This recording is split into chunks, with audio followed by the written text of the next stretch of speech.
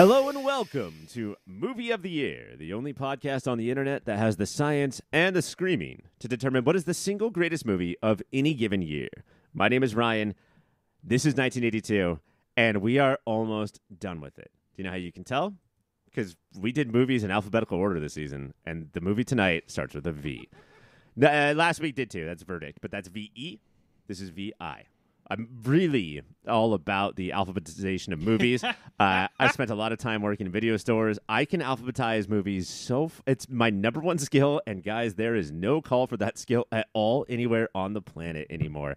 As I said, my name is Ryan, and this is just a bonus episode. This is not the full on competition, so I can introduce my friends as if they are my actual friends. Not just that, but friends with each other. Starting with Mike.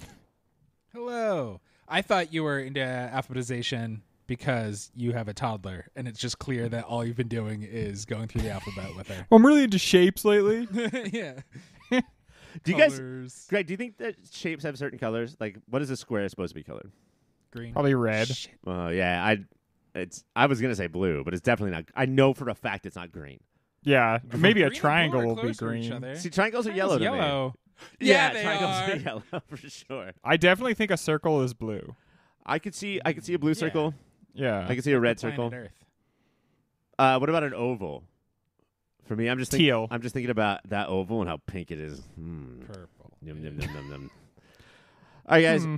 we have an important movie to talk about. We have our second uh, gender bender of 1982 over the last three weeks. We did Tootsie a couple weeks ago. We did Victor Victoria. I was so scared before we watched Tootsie, and Yeah. it turned out okay.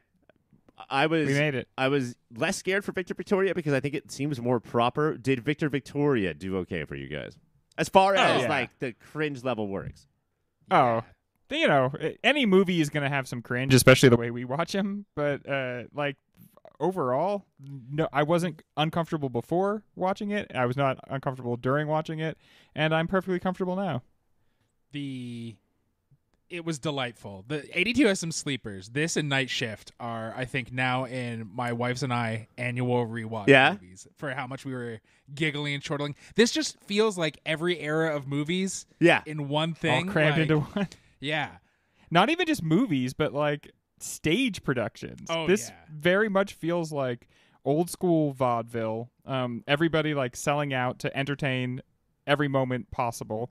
Even with that, it manages to slow down at times, but it mm-hmm. has so much heart and joy and love in it that I found myself forgiving and then eventually embracing all of its like foibles or rough edges. It's the kind of movie that really invites you to like think of it almost as like a friend or a That family it's it yeah, like I can't believe how quickly this movie is like, hey, hang out with me and you'll enjoy yourself. And I was like, fuck yes, I will, and I did. It, it has a heart of gold, and you can tell when it missteps, it doesn't mean anything by it. Like, And I think yeah, I think that the- we're gonna get into this in the uh, next segment, but like I think that the director has a reputation of being a little like I don't know, harsh and kind of pervy and weird. And I think that this movie just it, it really stands out in his oeuvre as oh yeah, like wh- wh- what a like I could watch this with any member of my family and be okay. If you I look at like the catalog of his movies, like literally the box covers of his movies, some of them would make you feel so uncomfortable. So I don't I totally have to like it seems like he's got so many weird outrageous sex comedies and there is that element to this, but it's contained in a way that doesn't make it uncomfortable. Greg, one of his movies is called SOB, and that B stands for bitch. what? I know, and not like, Gross. I'm out. I'm storming I'm out out of the podcast about tonight. so you won't watch this movie because of the acronym title of another one of his movies. I will. I will strike this movie from the record. Forget that I watched it because the title of one of his other. God, movies. if you could take one, if you could strike one movie from anybody's record, Greg, Ooh. would it be Verdict for Mike? Because he's been saying this nonstop since then. God, Mike, you can't strike real things from real life. Greg, strike that from the record. I will, Mike. No, I never said it. Luckily, luckily, like I, I'm getting to a certain age, so uh, I can like strike things from the record whether I want to or not. Yeah. Six shots of Jameson. I can strike so much from the record. All right, there's so much to talk about with this movie. Um, I'm excited that it was like here at the end. I'm excited to, Yes. to um, that it was you know a week or two away from Tootsie. Like Mm-hmm. 82, what a magical land you were. Uh, so without further ado, let's get into Victor Victoria. Hey guys, thank you so much for listening so far. And let me just tell you that everything ahead of this commercial is much better than what came before it. That's my guarantee. While I have you here, let me tell you about a website. It's called yourpopfilter.com, and it's everything you need that's related to Pop Filter. Everything Mike, everything Ryan, everything Greg, everything Cassie, everything is there at yourpopfilter.com. While you're there, go to yourpopfilter.com slash Amazon. Make that your new Amazon bookmark and do your shopping from there. That way, we get a little piece of the action, and Amazon doesn't. Make sure you're also listening to everything that Pop Filter has to offer, which includes the Superhero Show Show, a podcast that covers every single TV show that's based on a comic book or comic book property, and Movie of the Year, where we sit down and try and figure out what is the single greatest movie of any given year.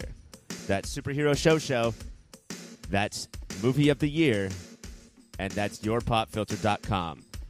Rate, subscribe, review. In the mid 70s, Hollywood legend and legendary cad Blake Edwards wrote a screenplay for his wife, Julie Andrews, based on the 1930s German movie Victor und Victoria, and not a Broadway musical.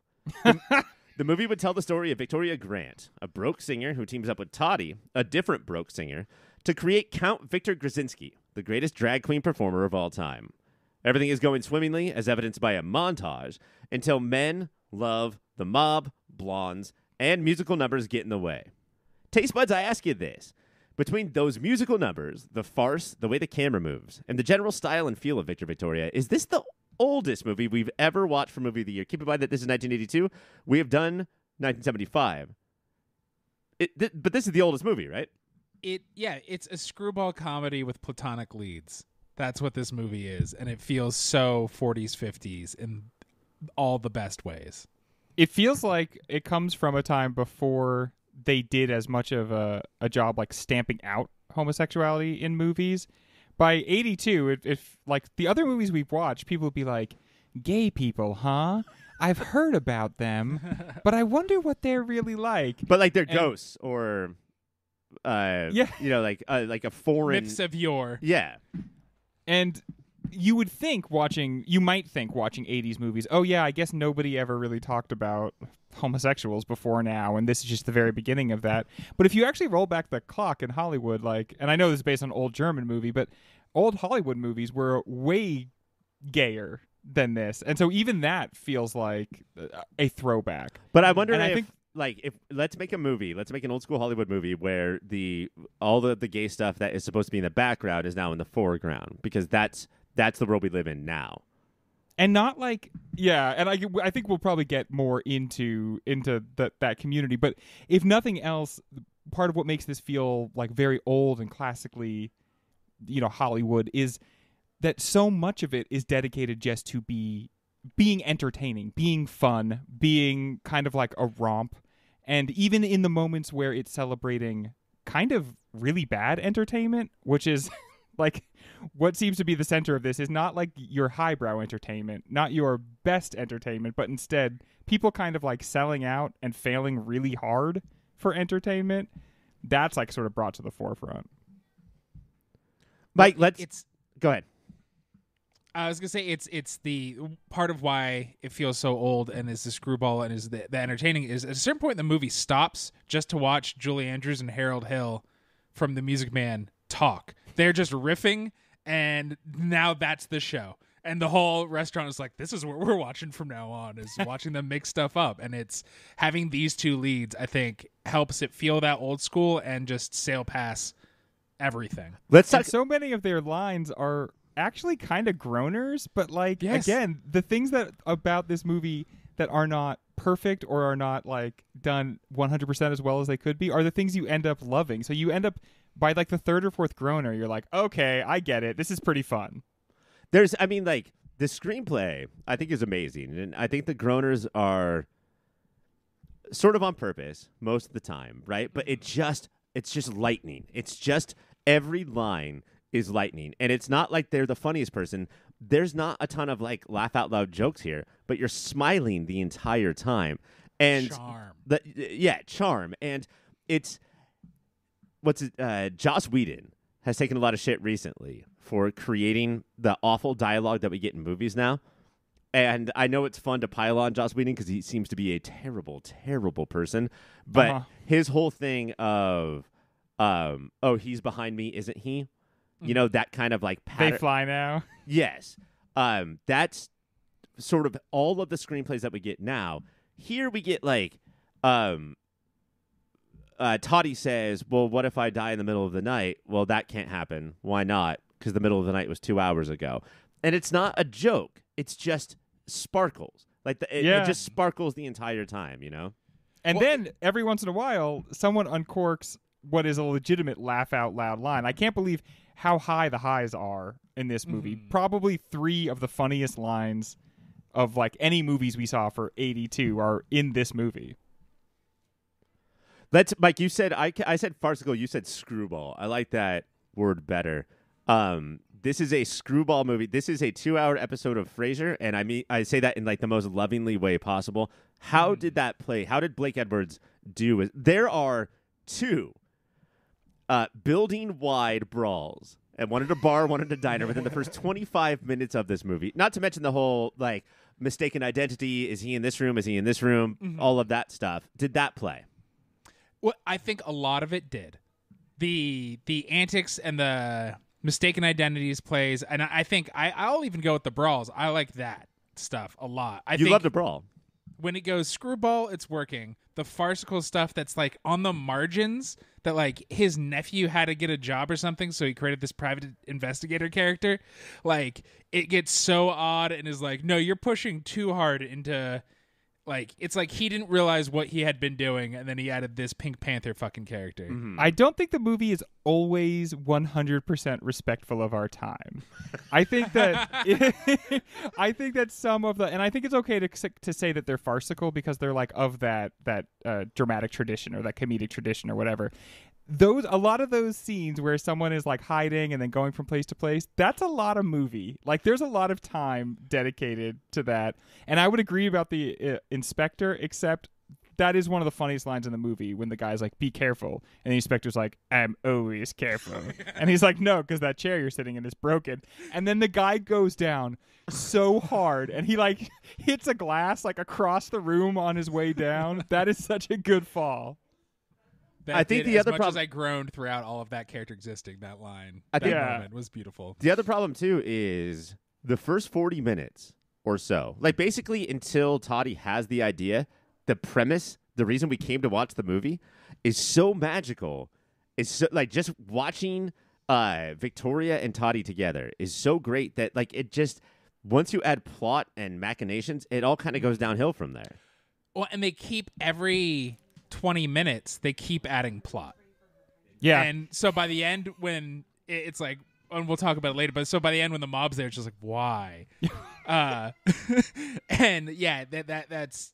I think this is good despite what's the cat's name? Blake Edwards. hmm This is good despite Blake Edwards.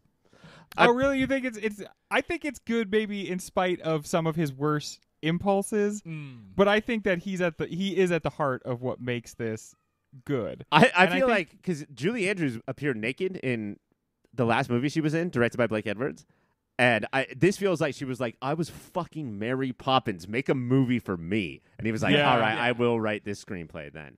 I thought that that was going to happen in this movie, and Mhm. it made me feel so uncomfortable the, the whole time. And I don't know. I think it's because she's Mary Poppins, Yeah. and so I was like, I don't really want to see. What movie is it that she was naked in, and, and why? I think sob, Okay, and it's because it does it does have that dirty word in the title. So I thought she was going to do the like what is it that movie? One of the guys. I thought she was going to like to prove that she was a woman, like rip open her shirt at one point. And I was so glad when that didn't happen because I was like uncomfortable the entire time thinking it was going to. there's another movie called Flirting with Disaster with Ben Stiller. This is from the '90s, and in that one, Mary Tyler Moore rips open her shirt. It's like, what are we doing, guys? like, let's not let's not do this. The musical numbers is the other thing. Um, we talk a lot about what is a musical, and first of all, I just want to sort of define that real quick because I don't know if we've done that in a while. I I've always thought that a musical is when uh, characters sing sort of uh, in a in a fantasy world hmm Yeah. The I feel so strongly I have to sing now. the Right. reality of the of the world they're not actually singing. So does that mean that that thing you do is that not a musical? Because that's just about a band that sings a lot of songs in the movie. Yeah. I would not count that as a musical.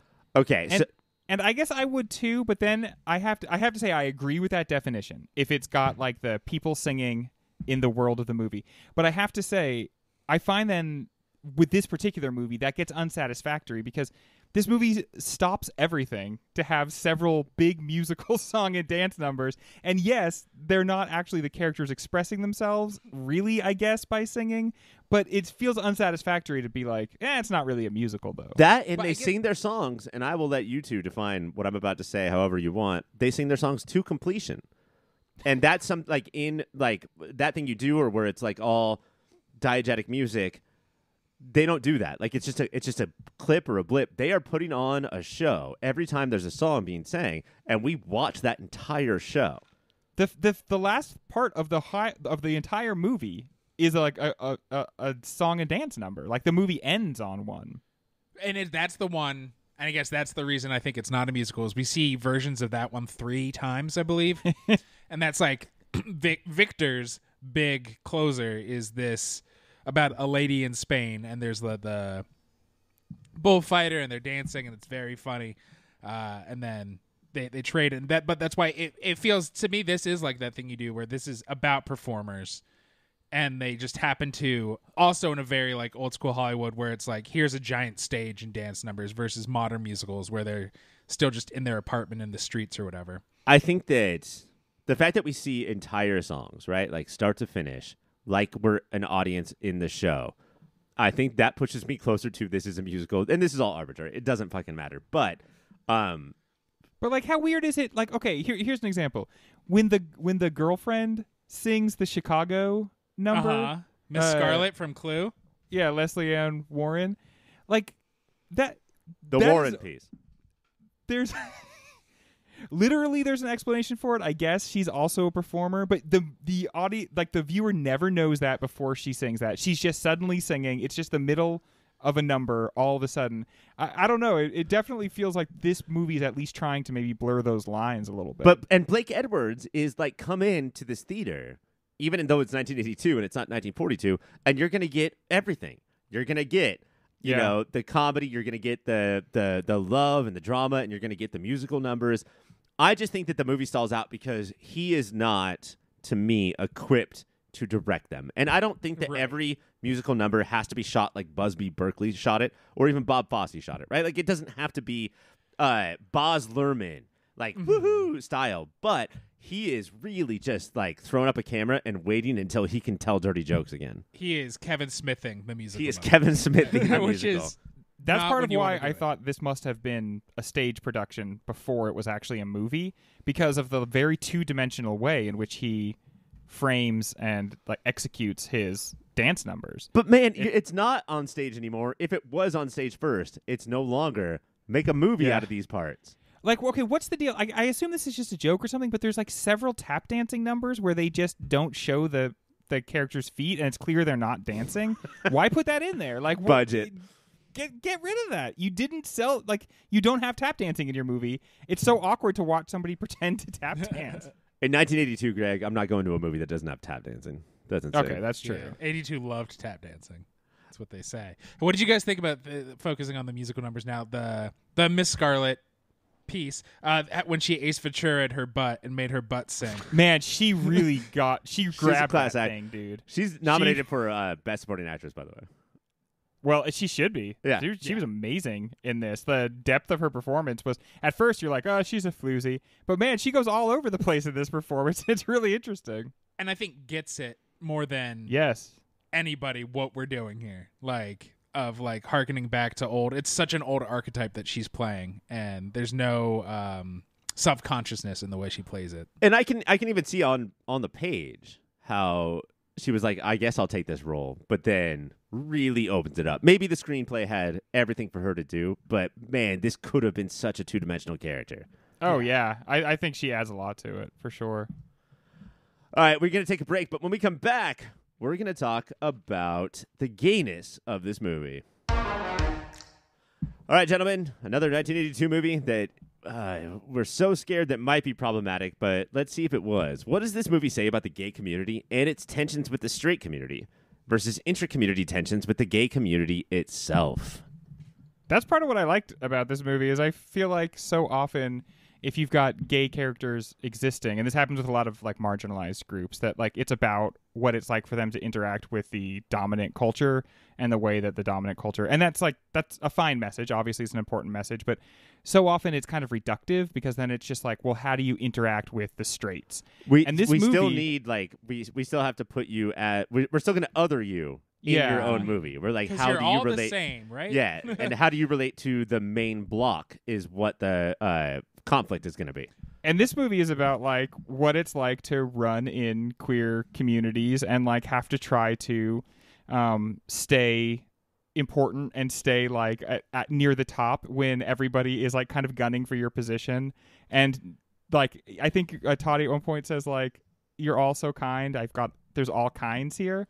That's the Yeah. other thing. It like it shows that like there's a lot of diversity within the community as well. I think part what helps that is a boon to it is that it's not just what's the gay community like. It's this is the gay expat performing arts community in Paris in 1932. It like really narrows down what Yeah. we're dealing with here and how people code switch and jump in and out. And Toddy, I think because of his age and his prowess, even when he's kind of down on his luck, does not code switch ever, right? He's just like, I'm Toddy, bitches, and I'll always be Toddy.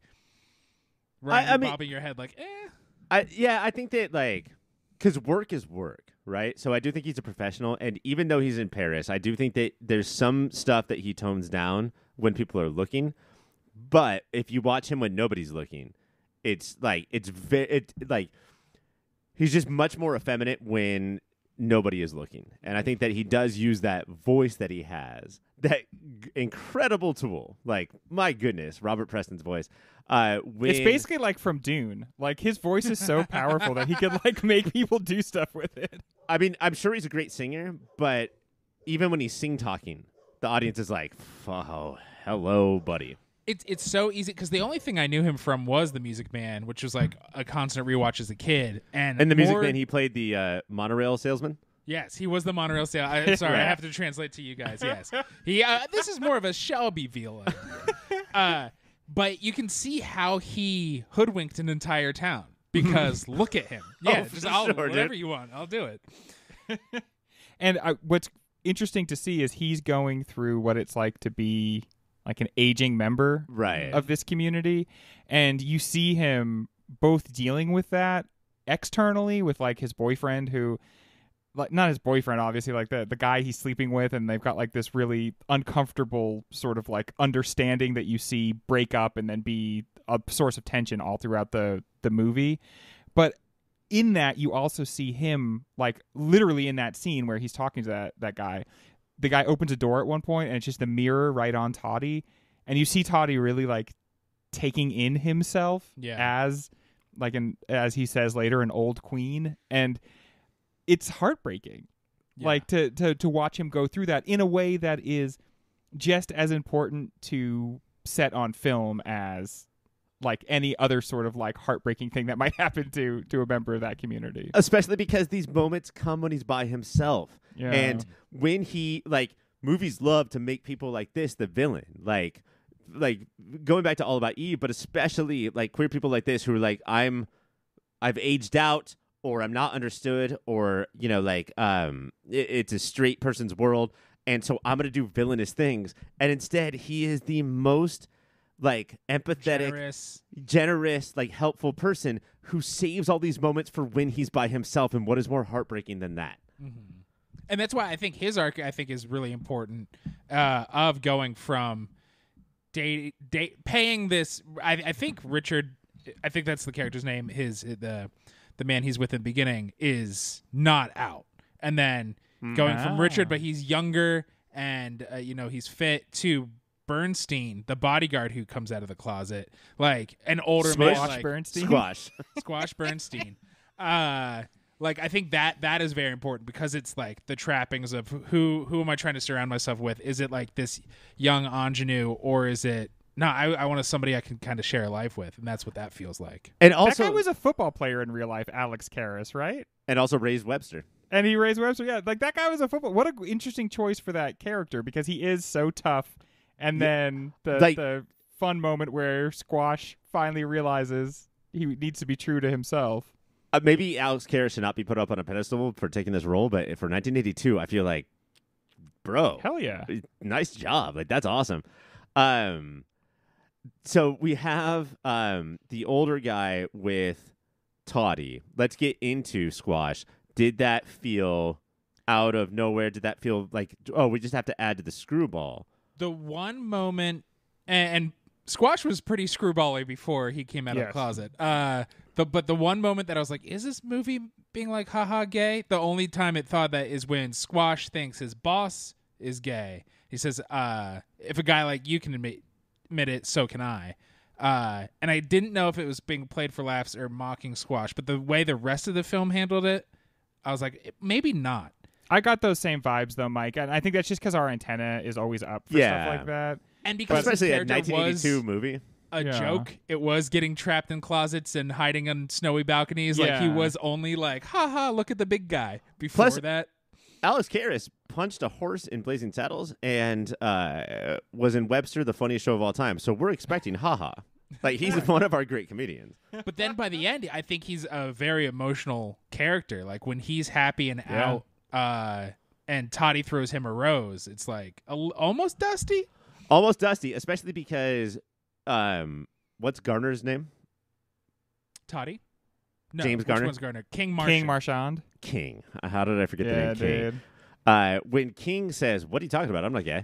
Um, Mm. That doesn't break uh, Squash's spirit. That doesn't break his character. He's like, "Oh, I thought you were." Anyway, I like how I'm out now, and like Yeah. that's the rest of the movie. I think that's a crazy. and you move. see him flower and that is Yeah. that that's like such a true thing like when people admit who they are in my experience you always see that person Yes. flower like The- and, and really become a, a- the best version of themselves and that move this movie really like shows that with Well, squash what I like is so as a film, it doesn't flatten out queerness like we've talked about, and the straight folks go back and forth and deal with it in nuanced ways. They're not Yeah. either I'm just an ally or uh, I'm going to be a villain no matter what. King Marchand's relationship with queerness is very nuanced for 1982 and has numerous steps. There's not one moment where he's like, and now I'm fine. There's a moment where he's Yeah. like, oh, I'm okay with people thinking I'm gay. And for a while, you're like, oh, look at that. And then he's like, nope, went out with who everybody thought was a man. So now I guess I got to get in the biggest bar fight ever just to prove to myself. Like, which I think is so crazy. Like, I think nuance is the best word. Like, th- these are these are difficult things for a dude like King Marchand, and you know, for him to uh, his friends literally come to like kill him and take everything from him just because they hear through the grapevine that he's gay Right. so like the, the, the, the stakes are super high and his manly, and he, but he tries. He's like, you know, what? I'm going to attempt to uh, not have this be such a big deal. And I also love how um, Victoria in the beginning, right when she meets King Marchand, is like, that man is a fucking pig. Yeah, God damn, do I want to sleep with him? Like, Yeah. yeah, like that's okay to admit as well. You know, like and Toddy's like yep same same me too. well, that's the, there's a a moment that I think is very important but between Victoria and King. Uh, when the, we're on the bed, it's it's calm, it's uh, mature, it's honest, and he's trying to get her to be like, "Well, we're in love," and this feels so 1940s movies, right? Like, well, we slept with each other once, so we're going to get married. What's our Right. life look like now? And I totally buy in, totally fine. But he's like, well, I mean, you're you're a woman pretending to be a man to pre- pretend to be a woman. She's like, yes, that's the plot of the movie we're in. and Did you guys? she- did you guys feel like there's a lot of lines written for the trailer in this Yes, movie? Like, there's a lot sure. of. Sorry, Mike. So keep going. you didn't have to have a voiceover person being like, Victoria was down on her luck. That's one of the ways in which it's really broad. It's like, uh, like there's like little recaps halfway through it. It's like I, some of you may not have been paying attention. Here's what's going on. Uh, but her response of like says the businessman who's pretending he's a gangster, pretending yeah, he's a businessman, and so my movie, wife would snap so hard if she heard that. so the movie is saying like we all have these little roles we play and lie to each other each other and society like and so we're all the same so just because it has to do with where genitals go fucking chill out And I I don't think the movie's like, let's end all the lies. Right? No, it's, it's, not like everybody. It's just like let's can we let's be a little bit less judgmental about the lies. Yeah, and let's not like have to confront everybody's lies. Like if the lies that people tell themselves to get themselves through the day, you don't have to disabuse people of those lies, but let's not use the lies against each other. Well, you said you didn't eat French fries, but you here the receipt says you did, so you're no worse than a murderer. well, I things did like that. also murder the fast food worker. I see a lot of that in the in the girlfriend Norma too. That that she's obviously the character herself is obviously spending so much of the time jumping between different characters that she thinks she has to play in that world. Like when she Uh-huh. wants to tell on King Marchand, she like does the dance number and then goes over to his rival and obviously makes it clear that she has something she needs to tell him. And then as soon as he's like, "Okay, what is it?" She like snaps into a completely different persona and is like, "Okay, I've got I've got the inside information on King Marchand." Well, it's she that that moment because it's not his rival. That is like his best friend and Yeah, his was buddy. business partner until they found out he's queer. Like, She's so good. I'm so glad that we have another reference besides Clue for this actress because she's Yes. amazing in this movie. And that that that, that moment of realization that it's Miss Scarlet's like, oh yeah, why is it? Because it's it's like not Susan Sarandon. That's who is this? right? No, that. But like, I do think that you're right. Like, there was like a, a market reclamation of Susan Sarandon had to get famous, therefore Yeah. Lesley Ann Warren did not. Also, you never see anyone use a halberd as a weapon anymore, and she really, she's really comfortable with that thing. Is that a like a slingshot? It's like an axie uh, It's like a- spear. It's like that spear that she used to spear the door when she was attacking them. Classic Lesley Ann Warren. Let's take a break, and when we come back, let's talk about the mob. Hola, Filterinos. I just wanted to interrupt real briefly and say thank you for listening. Thank you for your support. If you want to support us a little more directly, you can go to patreon.com slash yourpopfilter. There, depending on what tier you pick, $1 a month, $5 a month. If you're crazy, anything more than $5 a month, don't do that. You can get extra content. There's extra shows, extra series, uh, behind the scenes stuffs. Uh, you could pay for Ryan to draw you a picture. Uh, I can write you a poem. You can get the shirts off our very own backs. All of that and so much more over at patreon.com slash your pop filter. While you're on the internet, you should check out Shady Monk. He does all the tunes you've been listening to. He's on Bandcamp, he's on Spotify, uh, SoundCloud, wherever kids get their music these days that I'm too old to know. Shady Monk lives there. Uh, you can probably follow him on Twitter and Instagram as well. That's Shady Monk. Wherever you get music, check him out. This is an oddly structured movie. Let's be honest. It feels old school, but it feels like we don't have to hit the plot points of other 1982 blockbusters. The addition of the mob plot feels a little bit late. Did it need the extra oomph in the back third, or did it distract from the point of the movie? it it bummed me out. like it's straight up like I was fine with a lot of the screwball and farce and who was what, but like I'm fine been- with this farce, but that's it. uh, I thoroughly enjoyed it. This is my shit. Uh, I I won't be so neutral to say I'm fine with it. but, but the, by the time the mob is getting in the way, like I loved the final number, and it just felt like the mob shit. We could have had more cool emotional character moments on our way to that final number instead of what we got, which feels like even like Three Men and a Little Baby, a little baby, uh, Three men and a little baby. has mob stuff, right? Like there- there's something about the '80s. That's where true. they- yeah, They, really it do feel like they need to mobify everything. the mob was so busy in the 80s, fucking up with everybody's premises.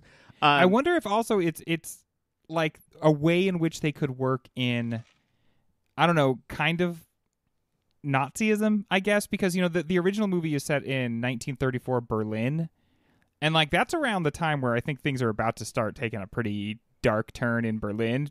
For things to get all the way over to Paris, I think takes a little bit longer, but all over Europe there is a rise of fascism at this mm-hmm. time.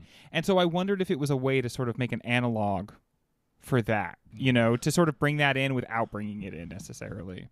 The way that I saw it was that this is sort of how these screwball farcical comedies work is that we're just going to add element after element after element until like the the It's house so zany. the room is just full of zaniness. Mm-hmm. And I think that the reason that it sticks out in this movie is not because the mob felt forced on, but again, the first 40 minutes was way more character development and Right. relationship development than you would expect from a movie. the best like this. scenes are like the two of them sitting in a bath Yeah, together. just- like, and, like, her- you know, they you have both to- have their feet in the bath. You have to walk out and heat the water again, and just the two of them becoming fast friends, and you never like questioning it. Like, no, this makes sense. They are the best of friends forever.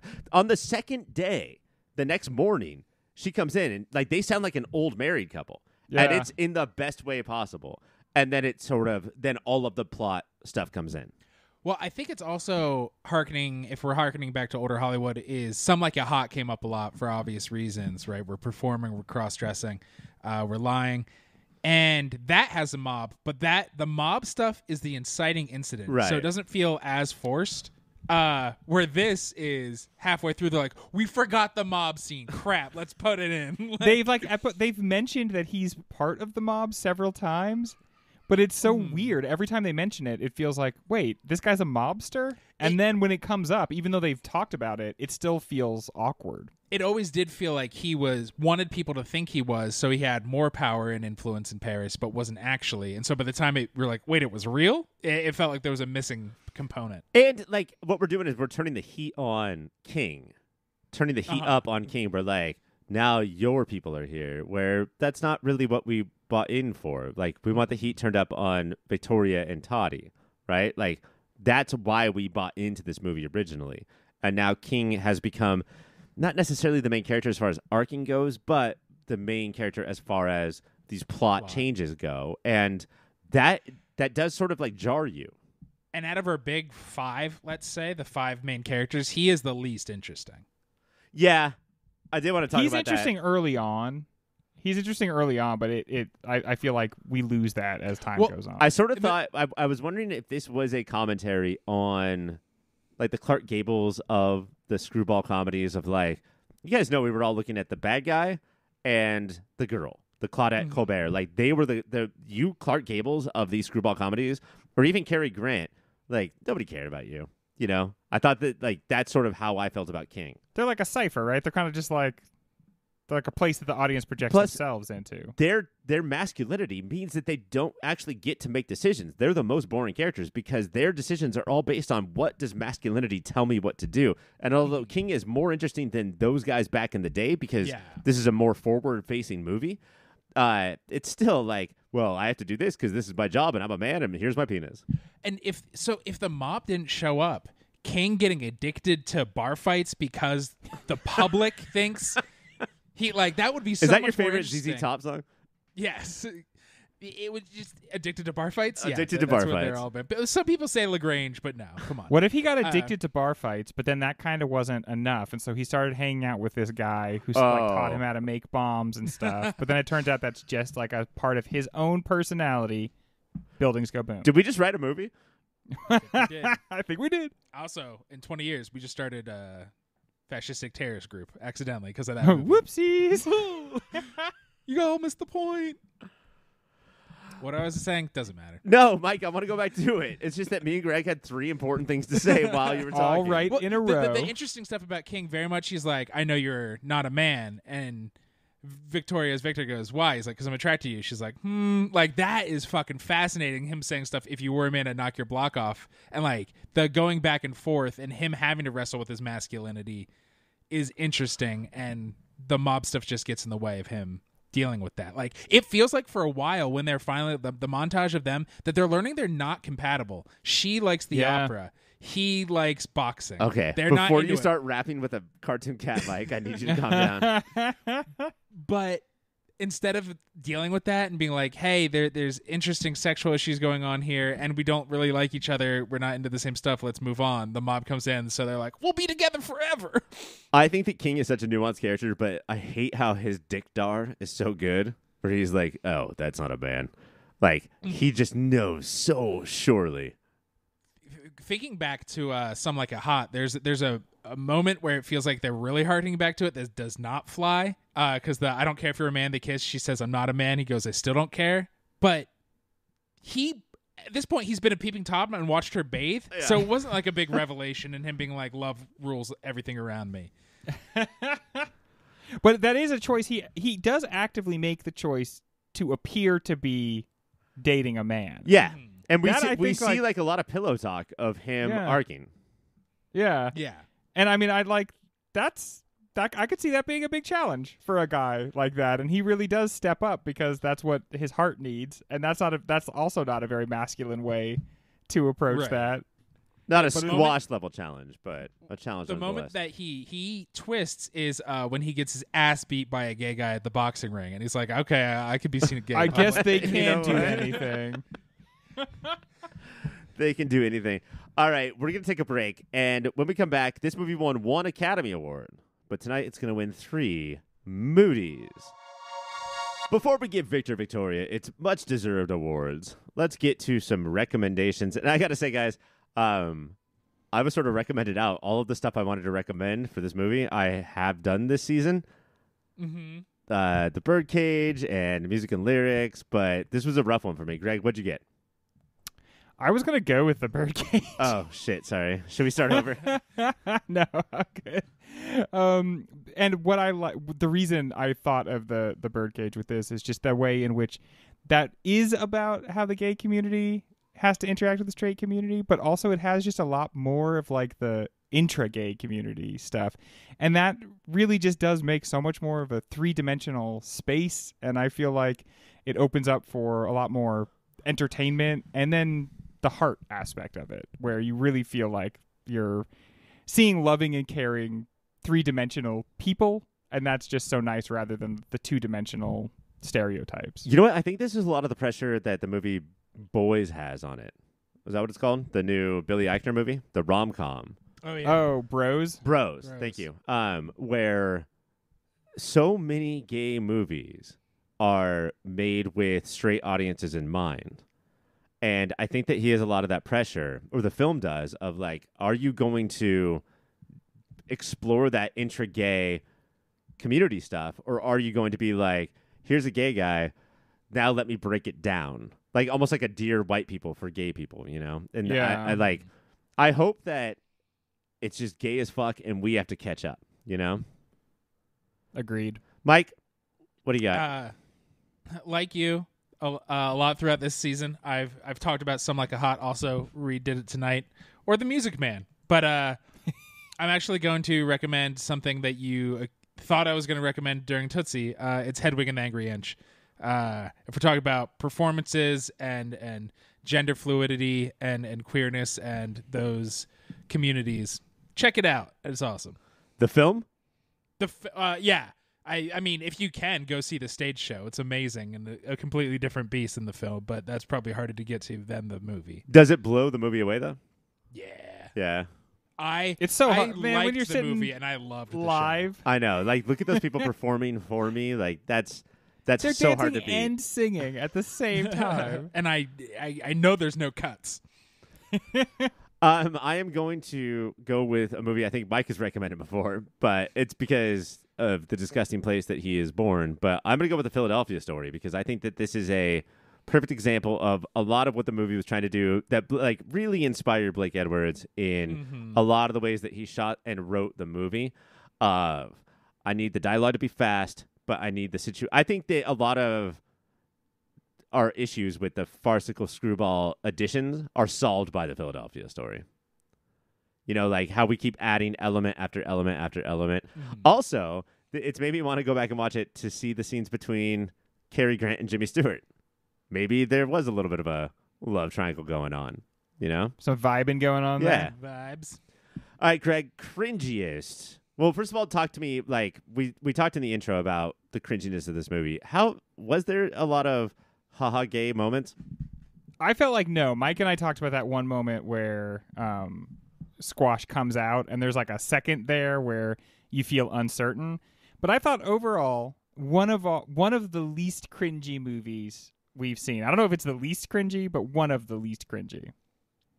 what would there i- if you had to pick one moment? Okay, I didn't love the like hotel manager who like she kind of said I'll have sex with you for a meatball, which the movie never makes it clear how much she really meant that. Sometimes it's a joke, sometimes it's not.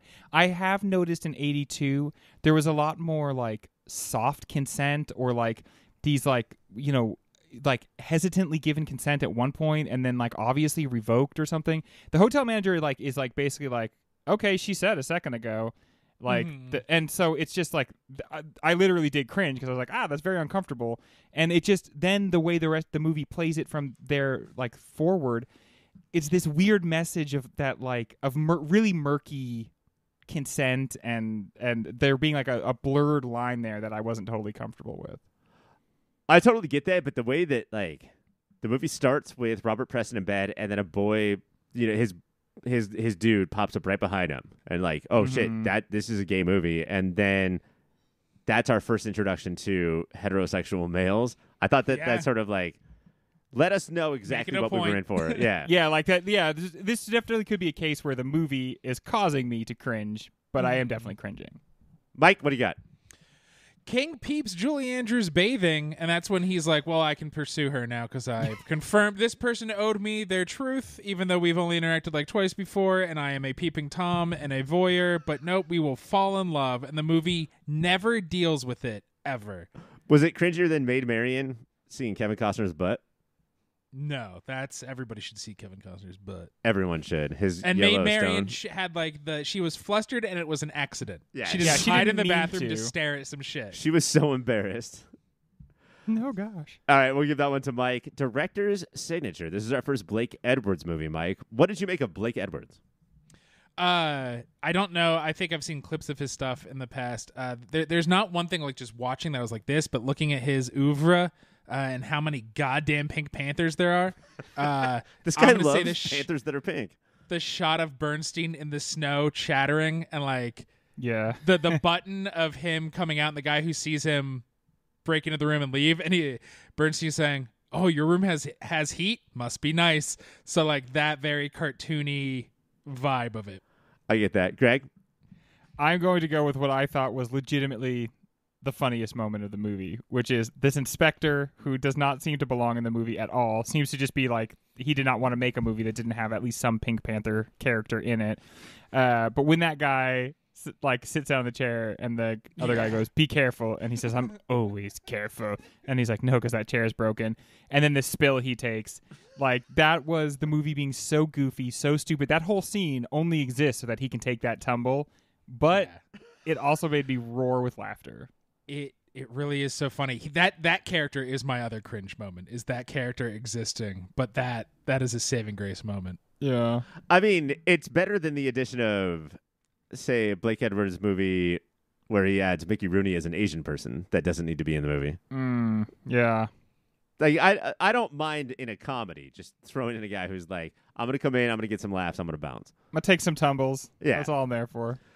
Uh, all right. Uh, that one is going to go to Mike as well. I do think that there's a little bit of not like maybe not maybe like Joe Dante or John Landis cartooniness, but there is a level of cartooniness to this guy. Uh, Greg, pound for pound performance. I think we narrowed it down to like five leads. Uh, this is so tough. this but- yeah, this is a rough one. I expect all five of these people to be nominated for Moody's at the end of the season. But when I really ask myself who I thought was doing the most in this movie, for me it's Lesley Ann Warren, Norma Cassidy. Uh, she's got so many different little micro performances in here. I think breathes a lot of uh, three dimensionality into the character, and seems to get the joke, and then also bring something kind of like fresh and new to it. And uh, yeah, I'm going Norma Cassidy, or rather, I guess it's Lesley Ann Warren. her conversation with Toddy about wait, no, you can't be gay because you're handsome. 1st of all, Mhm. and second of all, I I could change you back to straight. Like That was so big in the 80s and 90s. I don't know if that will ever like if that will persevere as an, as something that was like a plot point in the 80s and 90s, but the whole like if a girl thinks you're gay, she'll want to turn you straight. yeah, but uh, the Ladies thi- and gentlemen, if you did not watch stuff in this time, let us just tell you that was persistent in like every single I think it's comedy how of the Jason 80s Lee and got his career in the '90s. Every role he said that to somebody. I just but like in that scene, like her wide-eyed curiosity that she Yeah. brings, you know, where it's not as and she's like so present in that scene. yeah. Yeah. Mike, who's better than Lesley Ann Warren? I mean, it's hacky. I think it's Julie Andrews is undeniable, and we did not talk about her nearly enough That's throughout true. this. She's both Victor and Episode. Victoria. She's so talented that you end up taking her for granted no matter what.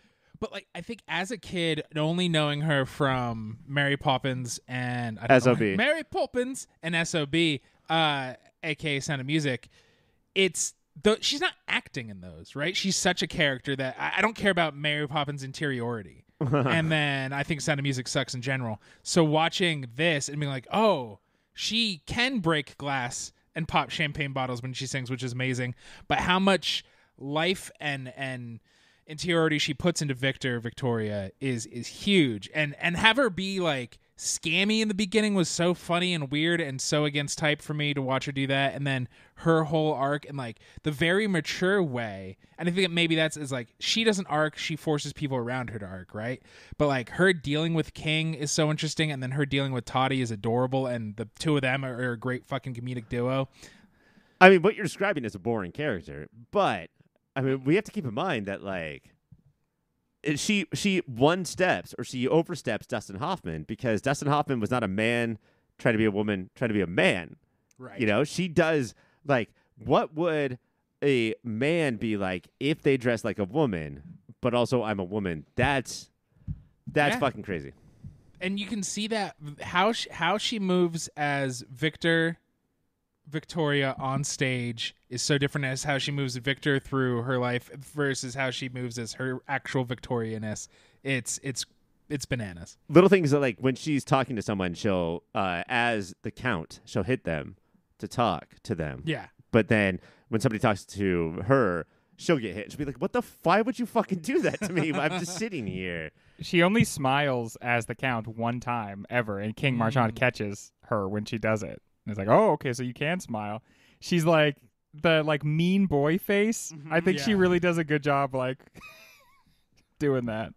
Which is, I mean, that is how dudes act. Like that is how dudes act as dudes, much less girls as boys as whatever. Like, And du- when you're a guy, it's performative, right? I'm Right. gonna put on. I'm gonna mean this is my like, tough face. This is I'm gonna act like a man uh, because I'm a man. Like Here, here's a thing I just thought of and nobody else has ever said is all genders performative. what, Mike, whoa! You bury that at the end of the show. We're born naked. Everything else is drag. I wish I could get points. Uh, that's gonna go to Mike too. I think Mike swept uh, an unscored show, Good job, Mike. which makes sense because this movie was nominated for seven uh, Oscars but only won one, and it was score. So, and that is what Mike just did. When we come back, we'll finally end the show. Well, that is very, very funny. Or very sad. And perhaps now you have something to think about. Or very problematic. And perhaps we have something to think about. But in any event, I'm sure you have some reaction to what you're listening to. So why not check us out on the social media? You can go to Instagram or Twitter and find us at Your Pop Filter. Email contacts at Your Pop Filter. Hey, everybody. Keep watching them movies. Gentlemen, Victor Victoria was a bonus show, which means it's not in the Elite Eight. But is it one of the best movies of 1982? Yes. It's a little crazy and maybe just because of having never heard of it like it, it didn't have that that that stock, but I think it could it, it's one of the best movies we watched this season. Yeah, it's better than at least a couple of the the bracket movies. But also, you know, the 82, we've said this before, but 82 is just pointed out that it's really hard to say like these eight movies are the good movies of 1982. You leave a lot on the table and this is one of them. I don't think it would have had a huge chance of winning, but I definitely think that it's I liked it more than 48 hours. Oh shit! 48 hours. That that's crazy that that happened this season. That's- that's so long. that is a lifetime ago. I, I I can't wait to do the last show of this season and be like 48 hours was um when was that? That's Gary Busey and Keanu Reeves. They surf, right? How many Mhm. sandwiches does he demand? Two meatball sandwiches, Mike. It's always two meatball sandwiches. Uh, yeah, I I think that this is a great movie. Um, not perfect, but I love it for it for its flaws. One of those movies. Um, Mhm, I do think that it has a lot of Moody's, though, at least nominations, if Oh, not winners, in its future. Uh, that's going to be it. We are wrapping up the 82 season. I'm not exactly sure what is in the future, but we have a couple more episodes or zero, one, two. I don't know. uh, that's what I mean by I'm not sure. Who knows what's about to happen? But the finale is coming, guys. The 1982 finale. Are you excited? And who are you wearing? It's a gosh darn freight train. I'm gonna wear my dead brother around my neck Hmm. Like King Shark? Like a king shark. I'm gonna go with basketball shorts, Ryan. Uh, this is my first podcast recording wearing basketball shorts, and I liked it. I thought it Free went easy, right? Yeah. I will often be in normal human clothes, and right before we start recording, throw on basketball shorts like I did today, and it's See, I'm the exact opposite. I will be in uh, gross clothes until we start recording, and then I'll put on like a shirt and pants A tux. and a cummerbund. and a often. Yeah. cummerbund. I love a good cummerbund. All right, for Mike, for Greg, I am Ryan, and please, as always, keep watching those movies. movie.